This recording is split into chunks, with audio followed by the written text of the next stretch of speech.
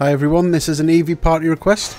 You've got to start from the entrance of the research area and then you've got to go inside this house and this is where the tricky part comes in.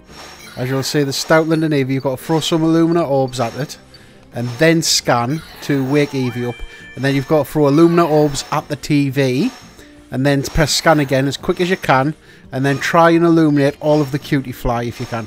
Now this is the tricky part and it is an absolute pain. It took me a few turns to get it right but when you get it you've got to make sure that the Cutieflies are all illuminated. That's all you got to do. Make sure that they're all illuminated and they will fly off um, and Eevee will be running around Stoutland with them and that's when you've got to try and take the picture. Now, like I said, this took me about seven, eight tries to get right, and it still wasn't as good. But this is the effect you want there. All of the glitter and glow. And that's your request done. Thanks for watching, and I'll see you in the next one.